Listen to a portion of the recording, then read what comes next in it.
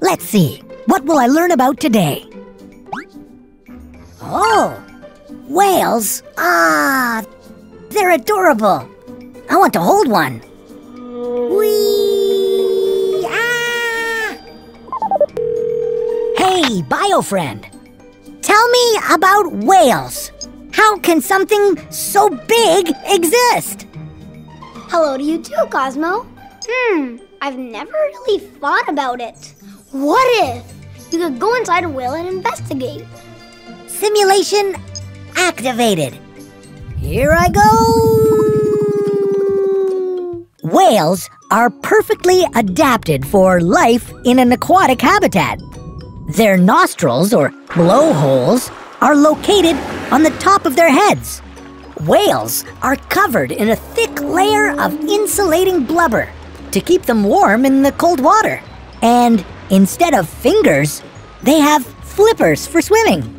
Let's investigate the biggest animal in the world the blue whale. Whoa! A blue whale's tongue weighs as much as an elephant. Its heart is the size of a small car. And its blood vessels are so wide that a human could squeeze through them. Oops! Instead of teeth, blue whales use baleen to catch their food. The whale sucks in a huge volume of water and shrimp like krill into its mouth and then uses its huge tongue to push the water through hundreds of baleen plates. The krill are trapped and swallowed, and the water is released back into the ocean. The whale will trap and eat up to 40 million krill each day.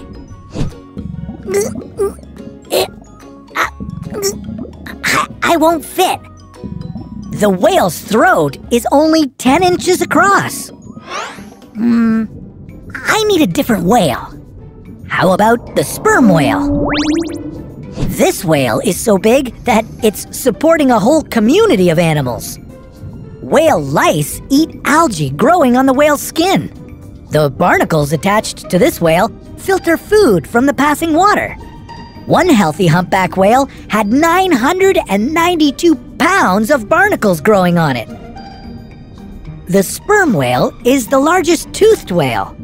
They are master divers, often reaching depths of 2,000 feet. And their hunting trips can last over 45 minutes.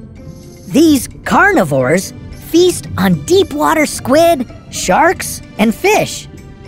If you went inside the sperm whale's mouth, you would immediately see the cone shaped teeth on the bottom jaw.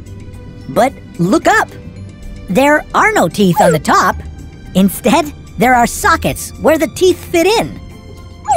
Sperm whales use their teeth to catch food, but they can't chew. This means they swallow their food whole. Whee!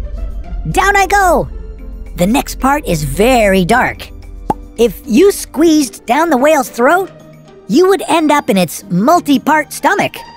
The first stomach is made up of very tough muscle, which crushes food. The second stomach, whee, has lots of room to hold food. The third stomach secretes the juices that digest the food. If you traveled through the intestine, you would eventually, yuck, come out as poop. When whales poop, they spread nutrients across the top layer of the ocean.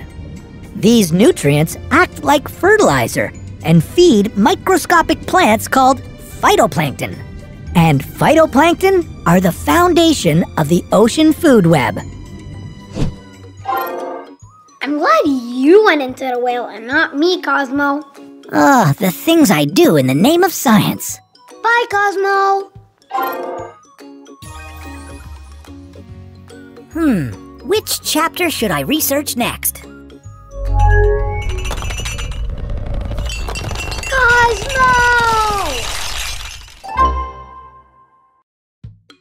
Hey everyone! Cosmo here. The blue whale is the largest animal to ever live on planet Earth. What if you drew a life sized whale to see how big it really is? Step 1 Find an adult. Step 2 Gather your supplies. You'll need some chalk, a picture of a whale, and a tape measure. Step 3 Find a large, paved, outdoor space, like the sidewalk or a playground. Step 4 With the tape measure, measure out the length of a blue whale 100 feet. Step 5 Using the picture of the whale as a guide, draw the outline of the whale. Step 6 Add some details to your whale, like its eyes, fins, and tail. Step 7 Stand at opposite ends of the drawing and see how long 100 feet really is. Happy exploring, and I'll see you next time on What If Kids. Goodbye!